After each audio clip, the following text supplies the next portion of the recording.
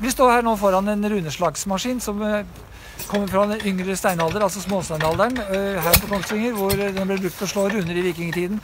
Og vi skal snart få, få altså, tekstet dette innslaget med, med runer fra denne maskinen.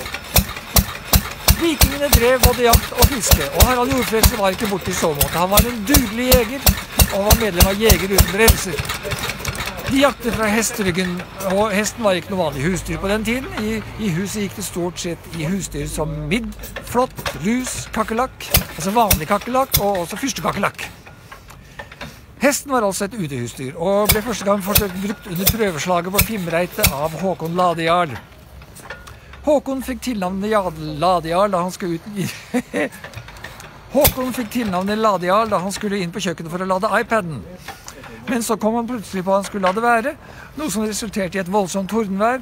Lynet slo ned i transformatorkioskene, så han fikk ikke kjøpt aviser på flere uker. Og nå er det jo sånn, vet vi i dag, at lynet slår jo ikke ned, det slår opp. Akkurat som jentene på videregående. Håkon Ladial ble lurt til å kjøpe et parti bøylehester på postordre fra Kina noen uker før prøveslaget på Fimreite. Og nå satt de der på bøylehestene sine og kom ikke av flekken. Fienden derimot kom seg av flekken og møtte frem på Fimreitet til avtalt tid. Men da ingen av Håkons møtte opp på hvalen, slapp de hvalen ut igjen og dro hjem. I moderne tid har bøylehesten blitt brukt som trygt dyr